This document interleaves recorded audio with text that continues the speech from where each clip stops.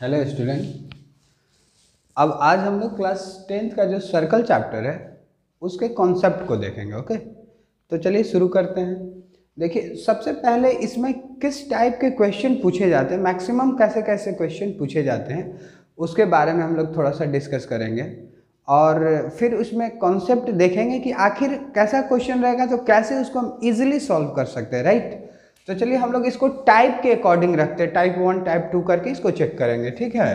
तो देखिए, कुछ हम लोग क्लास नाइन्थ में पढ़े हैं, उस चीज़ को पहले हमको याद रखना है, उसको हम टाइप वन में रख लेते हैं, ठीक है? तो देखिए, क्योंकि यहाँ पर इसका बहुत ज़्यादा यूज़ होने वाला है। तो पहला कॉन्सेप्ट में हम लोग क्या देखेंगे कि जैसे आप मान लीजिए कोई एक सर्कल है राइट तो अब हम लोग फ़र्स्ट थिंग क्या याद रखेंगे हमेशा कि सर्कल है, और सर्कल में तो सेंटर होगा ही होगा, ठीक है? तो ये सेंटर हमने रख लिया। अब आप देखो कि इसमें कोई भी एक अगर हम कोड खींच रहे हैं, ठीक है, यहाँ पर मैंने कोई एक कोड ले लिया, ठीक है। अब ये हमारा ए वी रहा, कोड हमने रख लिया।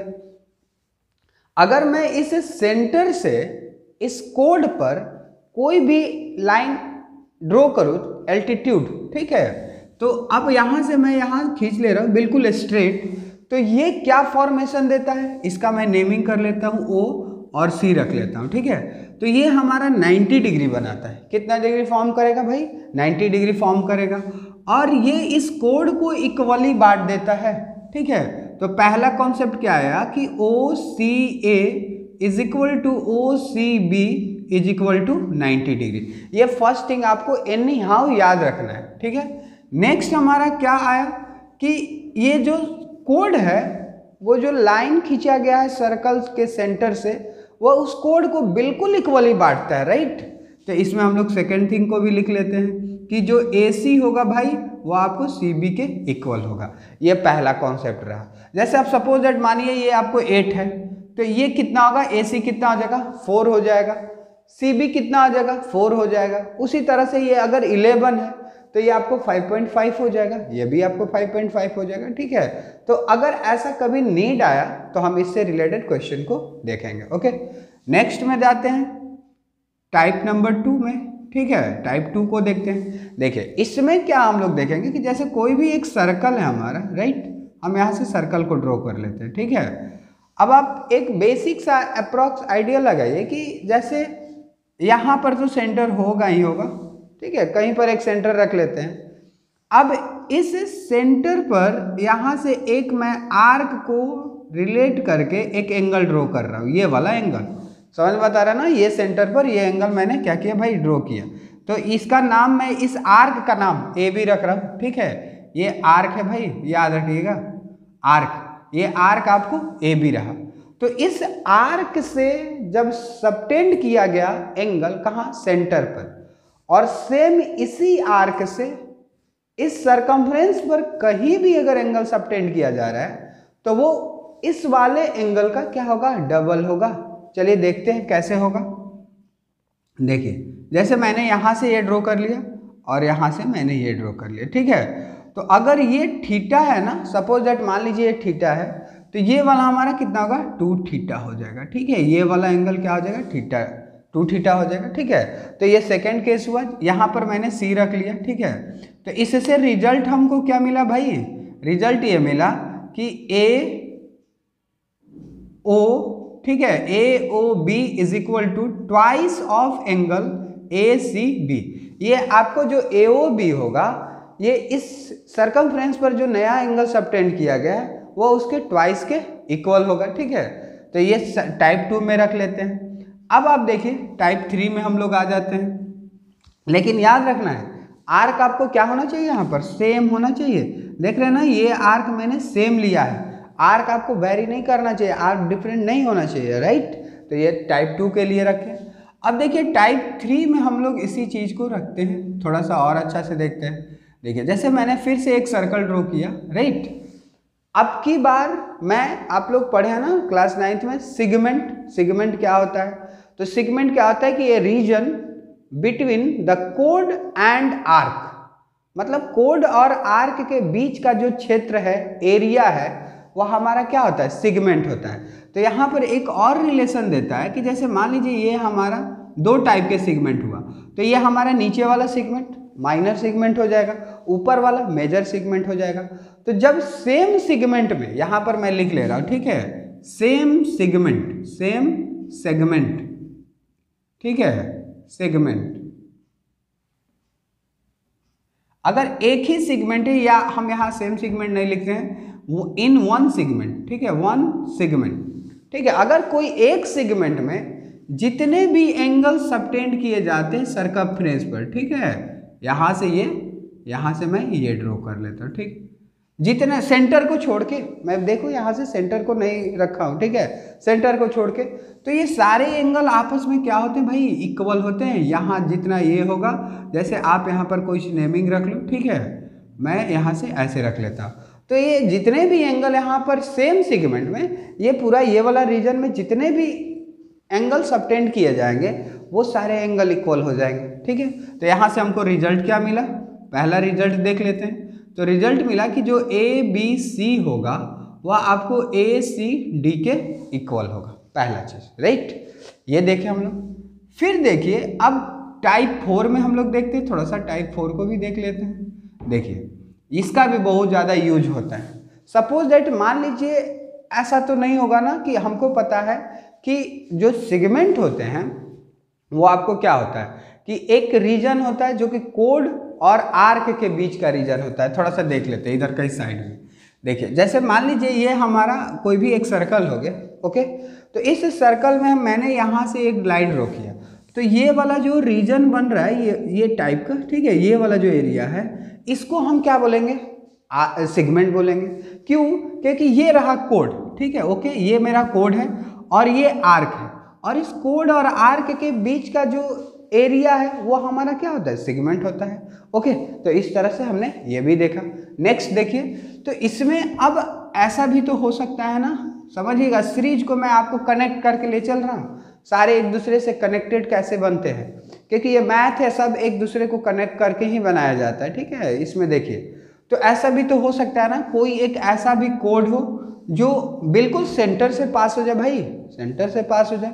तो इसके लिए अगर हम रखते हैं, यहाँ पर सेंटर हम करते हैं तो यहाँ से मैंने इस लाइन को क्या किया? ड्रॉ किया। ओके यहाँ से मैंने लाइन को ड्रॉ किया। तो ये भी तो एक एंगल फॉर्म कर रहा है। ये आपको 180 डिग्री एंगल फॉर्म किया। ओके अब जब ये 180 डिग्री किया और इसी सिगमेंट में मैंने एक और एंगल यहाँ से ड्रॉ कर लिया राइट तो ये वाला जो एंगल होता है ना, ये आपको 90 डिग्री बनाता है। कितना डिग्री इसका प्रूफ हम लोग नहीं देखेंगे, सिर्फ़ याद रखेंगे कि कोई भी अगर कोड जो कि सेंटर से पास हो, ठीक है तो उसको हम डायमीटर भी कर सकते हैं। तो उस कोड पर अगर एंगल बना और सेम सिगमेंट में और कोई एक दूसरा एंगल बन जाएगा तो उस एंगल का जो वैल्यू होता है ना, वो 90 डिग्री होता है, ठीक है? हम यहाँ पर रख लेते हैं ए ओ बी ठीक है, और सी तो यहाँ पर क्या मिला मुझे कि जो ए सी बी होगा, वो आपको कितना डिग्री होगा भाई? 90 डिग्री होगा, ठीक है? तो ये दूसरी बात। देखिए, इसके बाद एक छोटा सा आप एग्ज़ाम्पल समझिए, ठीक है? क्यों? क्योंकि इसमें जो सर्कल है ना, लोग कहते हैं बहुत बड़ा चैप्टर है, बहुत अजीब लगता है, ऐसा कुछ नहीं। इसमें क्या होता है ना, सबसे बड़ा प्रॉब्लम क्या होता है कि एक फिगर बनाएगा और उसी में बहुत सारे फिगर को वो ज्वाइंट कर देता है। तो समझ नहीं आता कि आखिर करे क्या? आर्क का रिलेशन चेक करे या सेगमेंट का रिलेशन चेक करे? ठीक है, ऐसे बहुत सारे डाउट्स आते रहते हैं। तो देखिए, पहले मैं आपको एक क्लेरिफाई कर रहा हूँ कि आपको क्वेश्चन में कहीं भी अगर ऐसा क्वेश्चन रहे तो आप कैसे कीजिएगा? ठीक है? अब देखिए, जैसे मैंने ये एक फिगर बनाया राइट और मैंने आपको क्या बताया कि जैसे ये सेंटर से जो भी एंगल सबटेंड किया गया ओके ये आपको ए बी ठीक है? और ये हमारा ओ रहा। अब इस पर जितने टाइप के एंगल सबटेंड किए जाएँगे, वो सारे एंगल आपको क्या होंगे भाई? ट्वाइस के इक्वल होंगे, ठीक है? देखिए, कैसे? अब यहाँ से मैंने यहाँ खींच लिया ठीक है? तो ये भी तो आप देख रहे हो ना सेम आर्क पर है कि नहीं है? सेम आर्क पर है। तो ये वाला जो रहेगा, अगर ये ठीटा हुआ तो ये वाला टू ठीटा हो जाएगा। समझ बता रहा है। उसी तरह से अगर मैं फिर से यहाँ से कोई एक ऐसे ड्रॉ करके इसी पर ज्वाइंट कर दूँ तो अगर ये ठीटा है तो फिर से ये मेरा कितना हो जाएगा भाई? टू ठीटा हो जाएगा। उसी तरह से मैं कोई भी ऐसा ड्रॉ कर दूँ यहाँ से और इसको मैं बिल्कुल उसी आर्क पर पास करवा तो ये मेरा फिर से टू ठीटा हो जाएगा। समझ रहे हैं ना? आप फिगर के कॉन्सेप्ट को देखिए कैसे लिख रहा है वो। अगर मैं यहाँ से कोई एक और इधर इधर फिगर ड्रॉ कर दूँ और यहाँ पर ज्वाइन कर दूँ तो ये भी मेरा कितना हो जाएगा? टू थीटा हो जाएगा। ठीक है? इस टाइप से बहुत वो फिगर को रिलेट करता है। ओके तो ये रिलेशन हुआ। अब आप देखिए। अगर मैं, आप अभी फ़िलहाल टू थीटा की बात कर रहे हो, ठीक है? अब यहाँ सेंटर है और यहाँ से मैंने इसको लाइन खींच दिया, ठीक है? तो अगर इसको मैं ज्वाइन कर दे रहा हूँ इस टाइप को, ठीक है? समझिएगा थोड़ा सा कितना अच्छा चीज़ है ये। तो अब ये आप इसको कैसे रिलेट करोगे? इसको सिगमेंट के अकॉर्डिंग रिलेट करोगे कि आर्क के अकॉर्डिंग रिलेट करोगे? क्योंकि आर्क वाला वो क्या बोलता है? आर्क में बोलता है कि जब कोई एंगल सेंटर पर सबटेंड किया जाए भाई, ठीक है, और सेम सरकमफ्रेंस पर कहीं भी सबटेंड कर दिया जाता है तो वो वाला एंगल ट्वाइस होता है इस वाले एंगल का, ठीक है? या सॉरी ये वाला एंगल ट्वाइस होता है इस वाले एंगल का, ठीक है? तो ऐसा ऐसा होता है राइट तो उसमें अगर अगर आप सिगमेंट को रिलेट करें, जैसे यहाँ से मैं ये लाइन एंगल ड्रॉ कर रहा हूँ, ये, ठीक है? तो ये जो एंगल है ना, ये वाला एंगल ये सिगमेंट को रिलेट कर रहा है। क्यों? क्योंकि ये जो लाइन है, वो सेम सिगमेंट को बता रहा है। समझिएगा कॉन्सेप्ट को समझिए। ठीक है? ए बी सी और डी मैं रख लेता हूँ। तो यहाँ पर जो सॉरी यहाँ से देखिए। बी ए सी जो है और बी डी सी जो है, ठीक है? वो आपको किस चीज़ को बता रहा है? इन सेम सिगमेंट सेम सिगमेंट को बता रहा है। ठीक है? यहाँ पर मैं क्या लिख रहा हूँ? सेम सिगमेंट ओके सेगमेंट क्यों? अब देखिए, समझिए सेगमेंट जैसे ये मान लीजिए अगर 50 डिग्री है तो ये भी हमारा कितना डिग्री हो जाएगा? पचास डिग्री हो जाएगा। क्यों? क्योंकि ये, इसको अगर मैं फ़िलहाल के लिए इरेज कर दूँ, इसको मैं नहीं रख रहा हूँ यहाँ पर, ठीक है? तो देख रहे हैं ना, एक ही सिगमेंट के अंदर बना कि नहीं बना? तो जब एक ही सिगमेंट के अंदर बन रहा है तो उन दोनों का वैल्यू क्या होगा? सेम रहेगा, ठीक है? अब आप देखिए, थोड़ा सा यहाँ पर एक चीज़ और समझिए। जैसे मैं यहाँ से ले जाऊँ, और इस बार इसी टाइप से, ये पूरा मैं सरकमफ्रेंस पर टच ही नहीं करूँ। ठीक है? तो इसका कोई रिलेशन ही नहीं बनेगा। जैसे बी सी डी ई रख लेते हैं, ठीक है? तो B E D sorry B E C इसका कोई रिलेशन नहीं बना, ठीक है? क्योंकि वो सरकमफ्रेंस को तो टच ही नहीं किया ना। तो कैसे हम उसको रिलेट कर सकते हैं? इजी ठीक है? अब आप थोड़ा सा समझिए। अगर मैं यहाँ से कोई सेंटर ड्रो कर रहा हूँ, ठीक है? यहाँ पर मैंने सेंटर ड्रो किया। इससे मैं इस एंगल को यहाँ से इस एंगल को मैंने ड्रॉ किया, ठीक है? तो आप समझिए, यहाँ ओ है, ठीक है? तो इस बार क्या हो जाएगा कि अगर मैं इसको इरेज कर दूँ, ठीक है, इस वाले पार्ट को मैंने इरेज कर दिया सेगमेंट को हटा दिया। तो अब क्या ये शो कर रहा है? देखिएगा ध्यान से देखिए, यहाँ सीखिए थोड़ा सा, ठीक है? जैसे हम B O C is equal to ठीक है? क्यों? क्योंकि ये आर्क को बता रहा है इस बार। इस बार वो आपको किसको शो कर रहा है? वो आर्क को शो कर रहा है। तो ये आर्क रहा ना मेरा? तो आर्क पर जो एंगल सेंटर पर सबटेंड करता है और जो सरकमफ्रेंस पर कहीं भी सबटेंड करता है तो ये वाला क्या होता है? डबल होता है उसका, ठीक है? तो आप यहाँ से क्या रख लोगे कि B O C is equal to two angle okay two angle कितना हो जाएगा भाई? बी ए सी हो जाएगा, या और, ठीक है? और यहाँ से B O C is equal to क्या हो जाएगा? बी डी सी हो जाएगा, ठीक है? ये भी हो सकता है। और भी बहुत सारे बन जाएँगे तो आपको उसका रिलेशन हम लिखेंगे, ठीक है? तो आप बेसिकली आप समझिए, कुछ चीज़ों को समझना है कि अगर सेम आर्क और सिगमेंट दोनों वो एक साथ लिख देता है, ठीक है? तो आपको चेक क्या करना है कि सेंटर से कहीं पर लाइन ज्वाइन किया है कि नहीं किया है? अगर वो सेंटर से लाइन ज्वाइन कर रहा है तो आपको टाइप टू के बारे में याद रखना है। क्यों? क्योंकि ये सेंटर से ज्वाइन करता है। तो सेंटर से जो ज्वाइन करता है, ये वाला क्या होता है? ट्वाइस होता है भाई, इसके ठीक है? तो यहाँ जो ए ओ बी होगा, वह ट्वाइस ए सी बी के इक्वल होता है, ठीक है? ये इस टाइप का रिलेशन देता है। लेकिन वही अगर इस लाइन को मैं ज्वाइन कर दे रहा हूँ, ऐसे लाइन को मैंने ज्वाइन कर दी ठीक है? तो तब वो आपको किसको दे रहा है? रिलेट कर रहा है। टाइप थ्री को रिलेट कर रहा है सिगमेंट को रिलेट कर रहा है ऑन द सेम सिगमेंट ठीक है? एक ही सिगमेंट में रिलेट कर रहा है। और अगर वो एक चीज़ और आपको याद रखना है, ठीक है? थोड़ा सा यहाँ पर देख लेते हैं ओके जैसे मान लीजिए कोई भी एक सर्कल है तो आपको याद रखना है कि जैसे ये सेंटर से पास हो रहा है, ये एक आपको जो कोड है, वो आपको सेंटर से पास हो रहा है। तो अगर वो कहीं भी एंगल फॉर्म्ड करे, ठीक है, जैसे मान लीजिए यहाँ पर फॉर्म्ड किया, ठीक है, यहाँ पर फॉर्म्ड किया, ठीक है, कहीं भी आपको ये बहुत डिफरेंट टाइप से कहीं भी फॉर्म कर देगा तो सबका वैल्यू कितना डिग्री हो जाएगा? 90 डिग्री हो जाएगा राइट ये हमारा कितना डिग्री होगा? 90 डिग्री होगा। ये भी हमारा कितना डिग्री? 90 डिग्री। ये भी हमारा कितना? उसी तरह से अगर ये इधर भी ड्रॉ कर दे, तब भी वो भी हमारा कितना डिग्री होगा? 90 डिग्री होगा। समझ रहे हैं ना आप बात को कि वो बोल क्या रहा है? ठीक है? तो आप कहीं भी सेंटर या जो पॉइंट आपको कोड से हो के जा रहा है, उसको अगर कहीं भी हम ड्रॉ करेंगे तो आपको कितना डिग्री फॉर्म करेगा? 90 डिग्री फॉर्म करेगा। ओके? तो ये इतना दूर आपको समझ में आया ना आप लोगों को? ठीक है? चलिए आगे देखते हैं। अब इसको हम थोड़ा सा इरेज करते हैं। ठीक है? ओके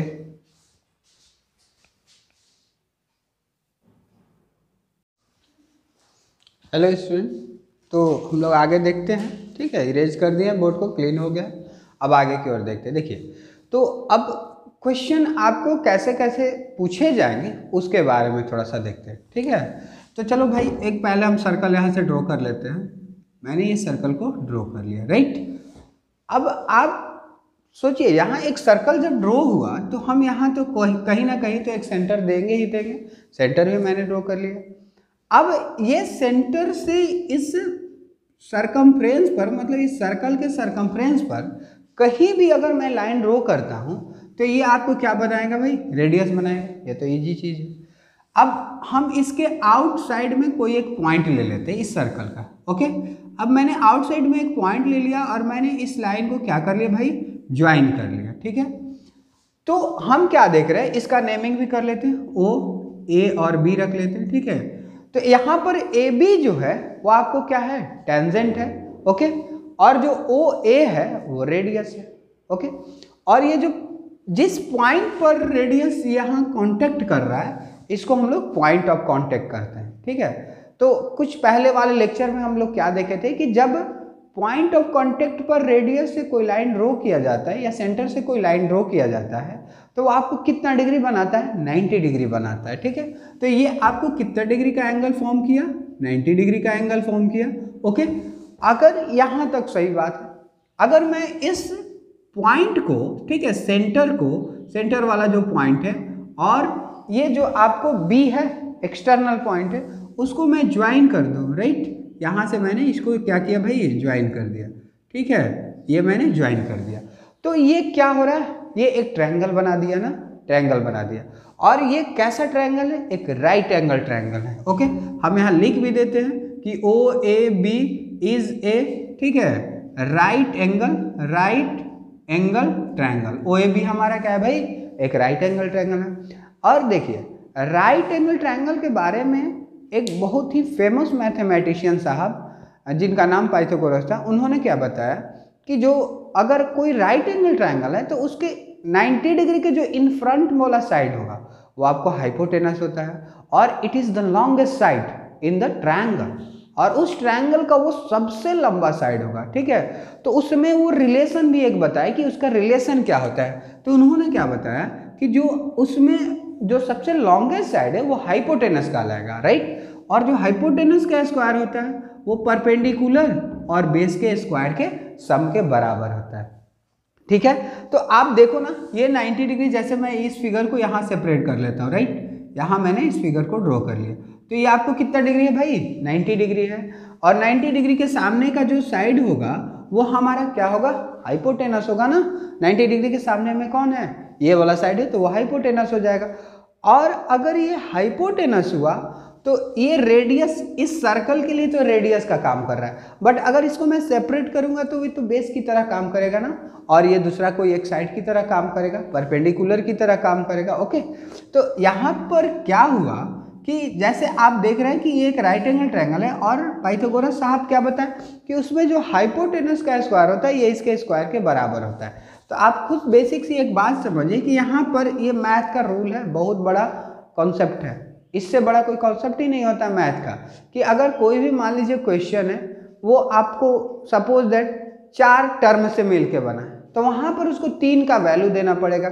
जैसे यहाँ पर आपको देखिए एच है पी है और बी है, ठीक है, या अब ये है। तो इसमें अगर मैं क्वेश्चन ऐसे बोल रहा हूँ कि इन्हें राइट एंगल ट्रायंगल ठीक है, इन्हें right angle triangle the length of hypotenuse is 10 centimetre and the length of hypotenuse is 10 centimetre find the base इस क्वेश्चन इज़ राइट और wrong question is wrong why because hypotenuse base and perpendicular is make this relation. ठीक है? ये इस relation को बताता है। लेकिन आप तो बोल रहे हैं कि सिर्फ़ हाइपोटेनस का वैल्यू दिया हुआ है और बेस का आप वैल्यू बताइए। तो क्या ये पॉसिबल है? पॉसिबल ही नहीं। क्यों? क्योंकि अगर कोई क्वेश्चन तीन टर्म से बना है तो वहाँ पर उसको दो का वैल्यू तो देना पड़ेगा ना। तो इसमें वही चीज़ होता है, इससे तीन क्वेश्चन आपको इजीली सॉल्व हो सकते हैं, ठीक है? अब सपोज़ दैट देखिए, समझिएगा थोड़ा सा मैं यहाँ पर आर का वैल्यू ठीक है रेडियस का वैल्यू पाँच सेंटीमीटर रख लेता हूँ, ठीक है? Length between centre to external point length ठीक है? Length between between centre centre to external point ठीक है? एक्सटर्नल पॉइंट अब देखो भाई, ये सोच के आपको रखना है। क्वेश्चन तो वो सेट करके देगा ही देगा। आपको भी अगर ऐसा कुछ बना रहे हैं तो आपको भी सोच के रखना है कि ये जो है, इसके सामने में है। तो हम एक ऐसा वैल्यू देंगे ना, जो इन दोनों वैल्यू से बड़ा होना चाहिए। ओके तो हम यहाँ पर चलिए भाई थर्टीन रख लेते हैं ओके यह हमारा थर्टीन हो गया। तो आप देखो, ये वाला वैल्यू हमारा कितना है? पाँच है। ये वाला वैल्यू हमारा कितना है भाई? थर्टीन है सॉरी ये नहीं। ये कह रहा है कि सेंटर टू ये वाला, ठीक है? तो ये थर्टीन सेंटीमीटर हो गया। तो आपसे पूछेगा कि बताइए what is the value of A B A B का वैल्यू क्या होगा? तो आप आसानी से निकाल सकते हो ना, क्योंकि आपको पता चल रहा है ना कि 90 डिग्री के सामने कौन है? ये। है तो ये हाइपोटेनस हमारा हो जाएगा, ठीक है? इसमें ये हमारा क्या हो गया भाई? बेस हो गया। ये हमारा क्या हो गया? एल्टीट्यूड हो गया। परपेंडिकुलर है। तो यहाँ पर फिर से हम रिलेशन लगाते हैं कि ओ बी का square is equal to O A का स्क्वायर प्लस ए बी का स्क्वायर ठीक है? ये हमारा रिलेशन हो गया। अब ओ बी तो दिया है ना यहाँ पर? थर्टीन का स्क्वायर ओके अब ओ ए हमारा कितना है? यहाँ से देख लो आप, पाँच है। तो फाइव का स्क्वायर और इज़ इक्वल प्लस ओके यहाँ पर आपको क्या आ जाएगा? प्लस ए बी का स्क्वायर आप देखो, बस एक ही चीज़ को याद रखना है इसी को, ठीक है? बहुत सारा फॉर्मूला आपको नहीं बनाना है कि जैसे H square is equal to P square plus B square है। तो आप पी स्क्वायर को यहाँ रखो एच स्क्वायर को यहाँ रखो बी स्क्वायर को। आप क्यों ऐसा करोगे? ये तो आपको याद करने की क्या ज़रूरत है? हम इसी में जिसका, तीनों में से जिसका वैल्यू रहेगा, उसको उसके इन फ्रंट में लिख देंगे, बाकी सॉल्यूशन कर देंगे तो आसानी से हमारा वैल्यू आ जाएगा राइट तो यहाँ पर आपको क्या हो जाएगा? ए बी का स्क्वायर में रख रहा हूँ, और प्लस ये 25 हो जाएगा और ये 169 हो जाएगा। कुछ आपको स्क्वायर्स भी याद रखने पड़ेंगे। कम से कम एक से तीस तक आपको स्क्वायर याद रखने पड़ेंगे। अगर मैथ में अच्छा करना है तो ठीक है? क्योंकि आप बहुत सारे डिफरेंट टाइप के अब एग्ज़ाम्स देखेंगे। उसमें छोटे छोटे स्क्वायर रूट को दे देता है। तो आपको जितना देर टाइम निकालने में लगेगा, उतना देर में अगर याद रहेगा तो ईजिली हम कर सकते हैं। अब बड़ा स्क्वायर है तो उसको तो नहीं निकाल सकते ना। लेकिन अगर आप छोटे स्क्वायर को आसानी से निकालना चाहते ट्रिकली तो आप मेरे कोई भी एक पहले वाले जो लेक्चर वाला वीडियो है, उसमें देख सकते हैं। उसमें मैंने स्क्वायर रूट के बारे में बहुत ईजिली आपको बताया, ठीक है? तो आप यहाँ से इतना कर लिए आप देखो भाई, ये कांस्टेंट है, ये भी कांस्टेंट है। तो ये इस साइड क्या कर आर में क्या कर रहा है? उसको तो एल में होना चाहिए, क्योंकि सेम कैटेगरी के साथ होना चाहिए। तो मैं यहाँ से 169 को यहीं रखता हूँ और इस 25 को मैंने यहाँ कर दिया राइट अब ये आपको ए बी हो जाएगा ए बी का स्क्वायर हो जाएगा। अब A B square is equal to अब यहाँ से देखो ना सब ट्रैक करो तो ये कितना आ जाएगा? फोर यहाँ भी फोर यहाँ पर वन अब आपको पता है ना कि जब ये स्क्वायर है तो इधर आएगा तो कितना हो जाएगा? रूट हो जाएगा। और ये आपको कितना? ट्वेल्व सेंटीमीटर ए बी का वैल्यू आ गया। अब आप इससे जैसे ही आपने ये किया, आपने तीन क्वेश्चन कर लिया, ठीक है? अब आप बेसिक सा बात देखो कि यहाँ पर मैं लिख लेता हूँ, ये ट्वेल्व है। तो वो अगर समटाइम्स सपोज़ दैट मैं यहाँ पर एक नया क्वेश्चन लिख रहा हूँ, ठीक है? क्वेश्चन सिर्फ़ मैं लिख रहा हूँ, आप समझिए थोड़ा सा इजीली कि इस बार मैं क्या लिख रहा हूँ कि ओ बी का जो वैल्यू है, नहीं दे रहा हूँ ठीक है? O B is equal to what okay O B का वैल्यू मैंने वट लिख दिया? अब मैं यहाँ से ए बी का वैल्यू लिख ले रहा हूँ, ठीक है? ए बी का ट्वेल्व मैं रख ले रहा हूँ और यहाँ से ओ ए का वैल्यू मैं पाँच रख ले रहा हूँ, ठीक है? आप बेसिक सी बात समझिए। पहले यहाँ पर क्या दिया था? ए बी का निकालना था। वो आपको ओ ए बी का निकालना था राइट ओ ए का दिया हुआ था ओ बी का दिया हुआ था, ठीक है? इस बार आपको ओ बी का दे दिया। ए बी का ए ओ बी का निकालना है ए बी का वैल्यू दिया ओ ए का वैल्यू दिया। तो आप देख रहे हैं ना, इसमें वो क्या कर रहा है कि कभी रेडियस का वैल्यू दे रहा है हाइपोटेनस का वैल्यू दे रहा है तो आपसे एल्टीट्यूड का वैल्यू पूछ रहा है। कभी एल्टीट्यूड का वैल्यू देगा? रेडियस का वैल्यू देगा? तो आपको हाइपोटेनस का वैल्यू पूछेगा। ऐसे ही वो बहुत सारे क्वेश्चन को क्या करते रहता है? पूछते रहता है। ओके तो इतना दूर समझ में आया ना? तो इससे आप तीन क्वेश्चन क्लियर कर चुके हैं। आपको लैंग्वेज को थोड़ा सा रीड कर लेना। रेडियस कौन सा है? हाइपोटेनस कौन सा है? ये कौन सा है? ठीक है? और इस तरह से आप इसको यूज़ कर लीजिए। और ये आपको याद करने की बिल्कुल ज़रूरत नहीं है। सिर्फ़ आप इसी को याद रखिएगा। ठीक है? जिसको आपको ज़रूरत होगा, उसके जगह पर वैल्यूज़ को पुट कर देंगे। मतलब ये गलत नहीं है, ये तो बना ही है ना, इसी से तो बना ही है तो गलत नहीं है। बट आपको सिर्फ़ ये वाला याद रखना है और बाकी सब इसको अरेंज करते जाना है उसको चेंज कर करके हमको चेक कर लेना, ठीक है? तो थोड़ा सा इरेज कर लेते हैं बोर्ड को और फिर आगे देखेंगे। तो मैंने बोर्ड को क्लीन कर लिया है, ठीक है? चलिए आगे देखते हैं ओके देखिए, इसके बाद हम लोग क्या देखेंगे? जैसे हम लोग टेंजेंट का तो रिलेशन अभी देखें। अब इसमें हम लोग कॉन्सेंट्रिक सर्कल के बारे में देखेंगे, ठीक है? ये भी बहुत इंपॉर्टेंट इंपॉर्टेंट क्वेश्चन को आपको क्या करता है? फॉर्म करता है, ठीक है? चलिए शुरू करते हैं। देखो भाई, मैंने एक सर्कल ड्रॉ किया, okay?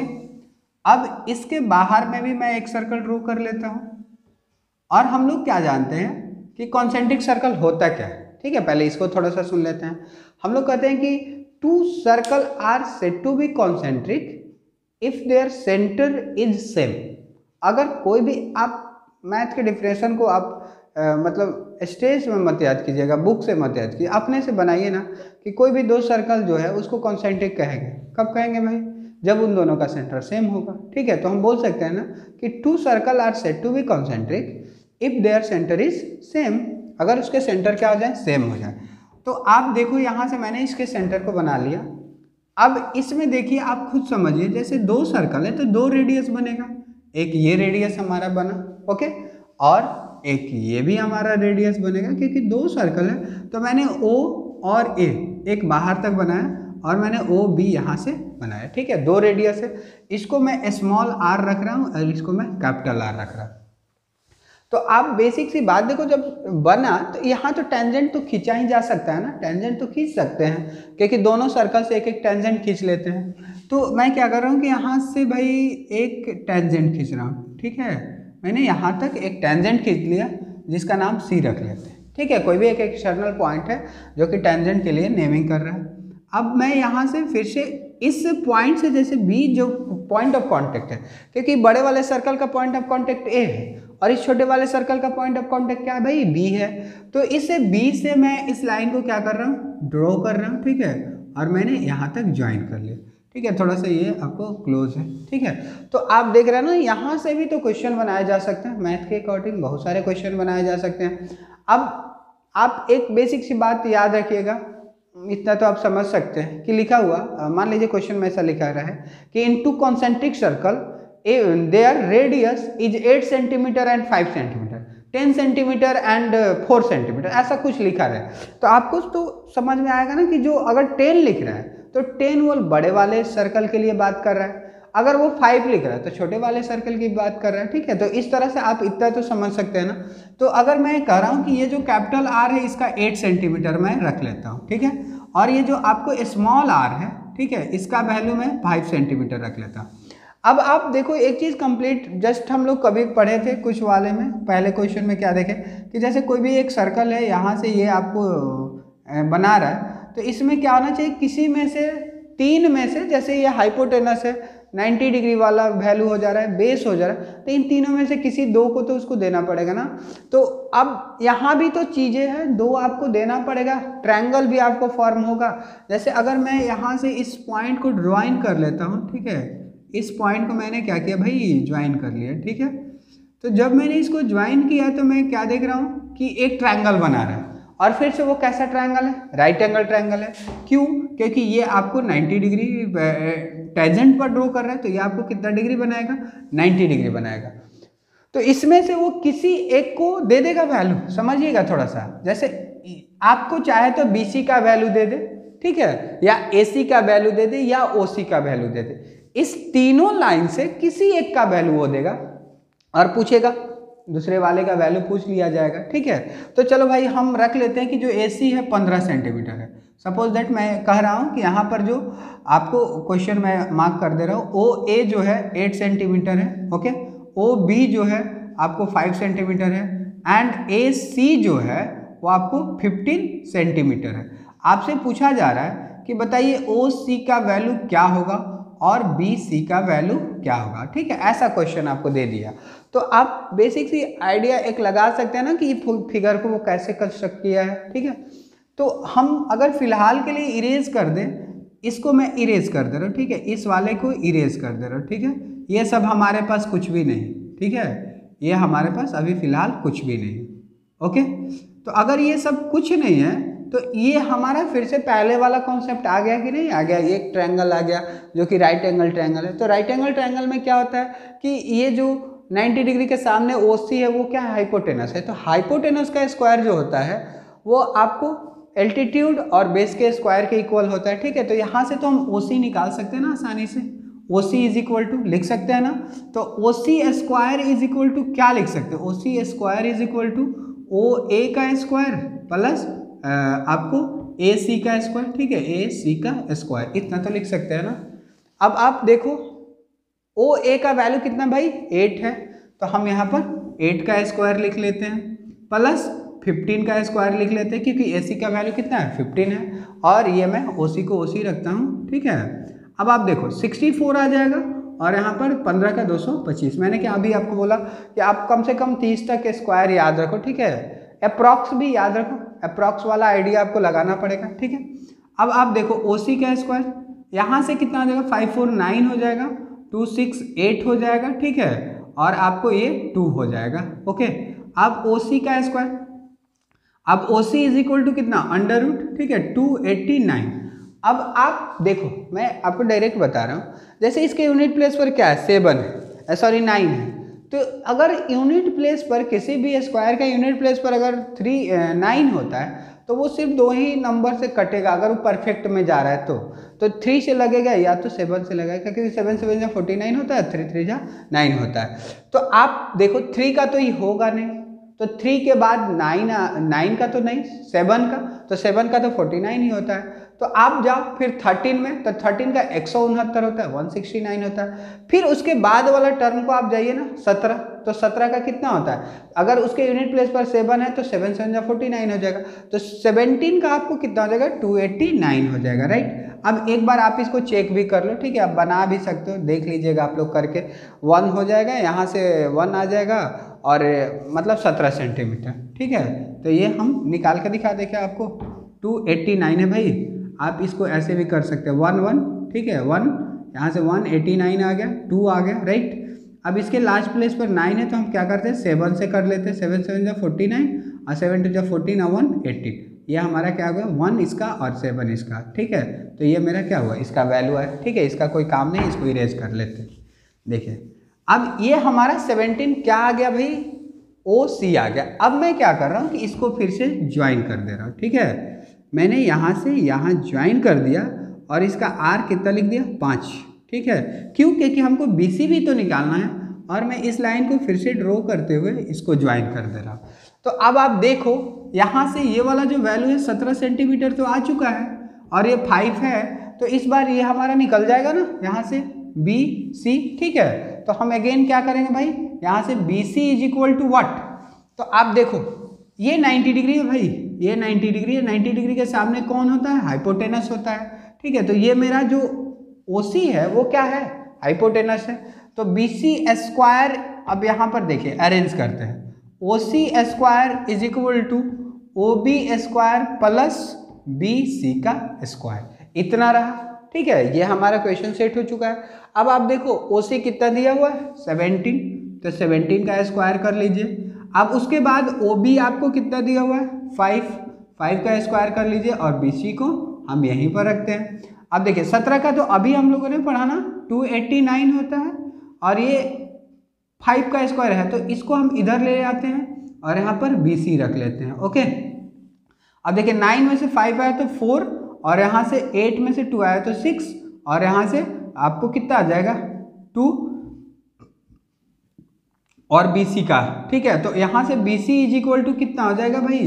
Under to sixty four अब देखो, जब आपको स्क्वायर रूट देखेंगे उस लेक्चर में तो आपको बताया गया है कि अगर जिसके यूनिट प्लेस पर आपको मान लीजिए ज़ीरो है फोर है वन है फोर है फाइव है सिक्स है तो इस सब का बनाया जा सकता है परफेक्ट स्क्वायर लेकिन समटाइम क्या होता है कि वो किसी नंबर का स्क्वायर भी होना चाहिए। तो अभी हमको कन्फ्यूज़न है कि ये स्क्वायर है या नहीं है। तो एक बार चेक कर लेते हैं यहाँ पर।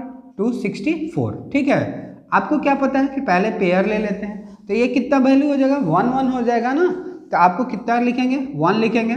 और यहाँ से कितना? वन और ये सिक्सटी फोर यहाँ से टू आ गया, ठीक है? आप अप्रॉक्स एक आइडिया लगाइए तो कितना आपको कितना आपको लगेगा, ठीक है? तो अगर टू एट जा सिक्सटीन करते हैं तो बहुत ज़्यादा हो जाएगा। फाइव से करते हैं सिक्स से करते हैं ठीक है? तो सिक्स सिक्स जा कितना हो जाएगा? थर्टी सिक्स और सिक्स टू जा ट्वेल्व और थ्री फिफ्टी ओके यहाँ से यहाँ से फोर्टीन में से फोर से फोर्टीन से सिक्स आया तो एट और यहाँ से कितना आ जाएगा? आ, कट जाएगा ये आपको ठीक है? और ये भी आपको कट जाएगा। मतलब वन सिक्स और पॉइंट समथिंग, ठीक है? तो हम यहाँ पर लिख लेते हैं sixteen point something approx.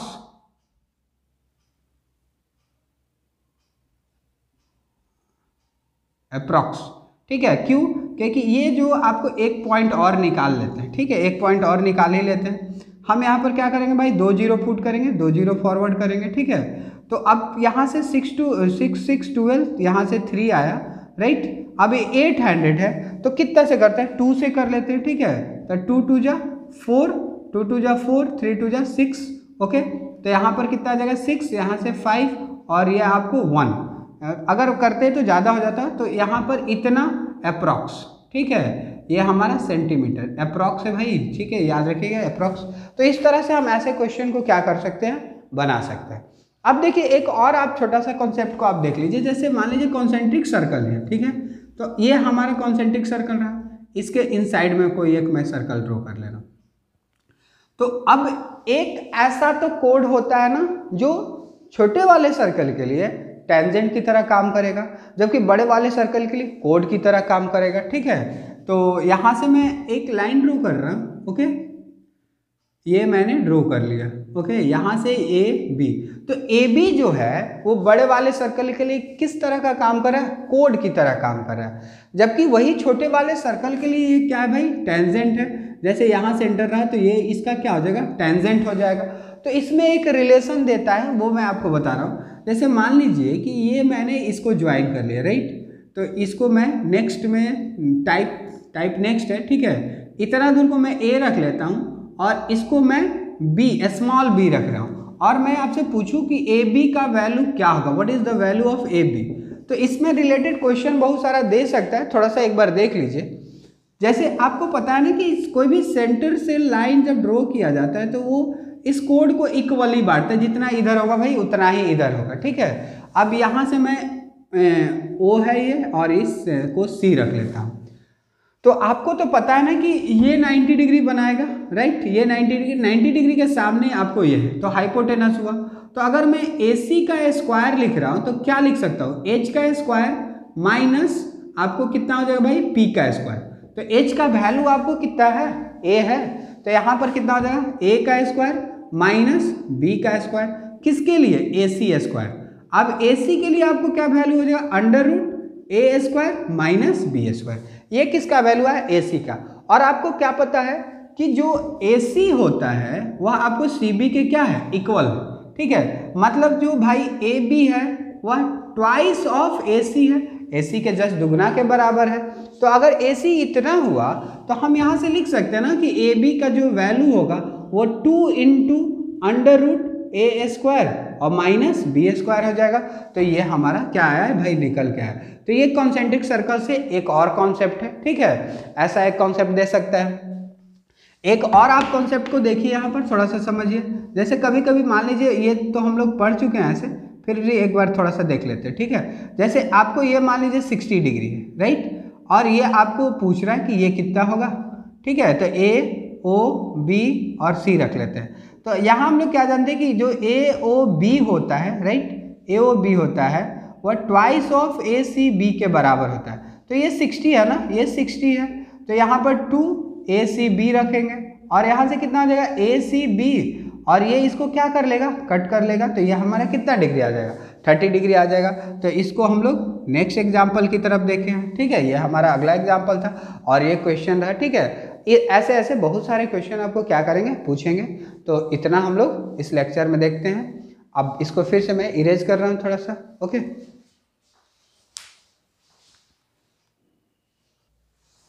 तो चलिए बोर्ड इरेज हो चुका है। अब एक और क्वेश्चन को हम लोग देखते हैं। ठीक है? चलिए शुरू करते हैं। अभी जब हम लोग क्या पढ़े कि जैसे कोई भी एक सर्कल है ओके ये हमारा सपोज़ दैट मान लीजिए एक हमारा सर्कल है राइट इसके बाहर में मैं एक और सर्कल बना रहा हूँ, जो कि कॉन्सेंट्रिक सर्कल है ओके अब आप देखो, यहाँ से मैंने इसका सेंटर ड्रॉ कर लिया राइट तो मैं क्या कर रहा हूँ भाई कि यहाँ पर एक टेंजेंट खींच रहा हूँ, ठीक है? जो कि बड़े वाले सर्कल के लिए क्या काम कर रहे हैं? वो आपको बड़े वाले सर्कल के लिए कोड की तरह काम कर रहा है, जबकि छोटे वाले सर्कल के लिए टेंजेंट की तरह काम कर रहा है। तो इससे भी क्वेश्चन देखिए, आपको कैसे पूछेगा? जैसे ओ रहा ए बी मैं रख लेता हूँ, ये सी रख लेता हूँ, ठीक है? तो इसमें भी तो आप देख रहे हैं ना कि यहाँ से अगर मैं इसको ज्वाइन कर रहा हूँ, ठीक है? ये तो ये आपको क्या बना रहे हैं? एक राइट एंगल ट्रायंगल बना रहे हैं, ठीक है? आपको इधर भी एक राइट एंगल ट्रायंगल बना रहा है, ये भी साइड हमारा क्या है राइट एंगल ट्रायंगल बना रहा है। तो वो क्वेश्चन कैसे देगा, वो मैं बता रहा हूँ, ठीक है? जैसे सपोज़ इट दे दिया कि ए बी का जो वैल्यू है भाई, मान लीजिए आपको दस है राइट तो ए बी का वैल्यू आपको, मान लेते हैं कितना लिख लें? ट्वेंटी फोर सेंटीमीटर लिख लेते हैं, ठीक है? ए बी का वैल्यू ट्वेंटी फोर सेंटीमीटर रख लेते हैं। अब वो आपसे दिया कि जो इसका रेडियस है, ठीक है, जो रेडियस है, वो आपको फाइव सेंटीमीटर है, ठीक है? तो आपको बताना है ना कि बताइए ओ ए का वैल्यू क्या होगा ठीक है? जो ये वाला सर्कल है, उसका रेडियस आपको क्या है? फाइव सेंटीमीटर है तो आप बताइए ओ ए का वैल्यू क्या होगा? तो आप अप्रॉक्स आइडिया लगाइए ना, आपको मैंने अभी क्या बताया कि जो ए सी होगा, वो क्या होगा?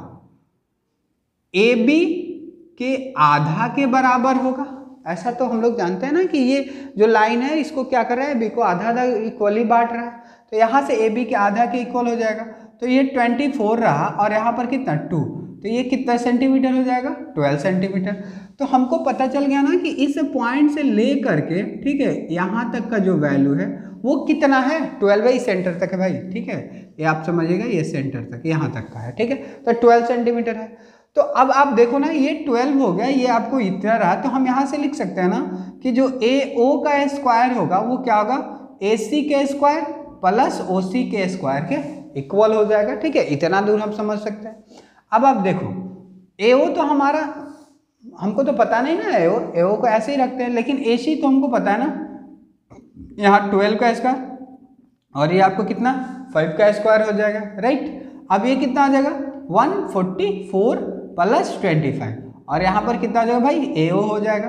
अब A O square is equal to कितना आ जाएगा? वन सिक्सटी नाइन हो जाएगा। तो A O is equal to what ये अगर इधर स्क्वायर है तो उधर जाएगा तो आपको किस फॉर्म में जाएगा भाई? रूट में। तो 169 तो ये कितना सेंटीमीटर हो गया? 13 सेंटीमीटर तो आप देखें ना, आसानी से निकाल लिए यहाँ पर। तो अब समझिए थोड़ा सा क्वेश्चन को समझिए, ठीक है? इस क्वेश्चन का आंसर आपको कमेंट बॉक्स में सेंड कर देना। मैं एक एग्ज़ाम्पल आपको दे रहा हूँ। ठीक है राइट सेम इसी से रिलेटेड है, कुछ ज़्यादा बड़ा क्वेश्चन नहीं है। मैं इस बार लिख रहा हूँ कि जो भाई ए ओ है, ठीक है, वो आपको 13 सेंटीमीटर है ओके और इस बार मैं लिख रहा हूँ कि जो ए बी है ओके वो आपको 24 सेंटीमीटर है राइट तो find find O C is what ठीक है, इसका वैल्यू आप कमेंट बॉक्स में सेंड कर दीजिएगा। Okay thank you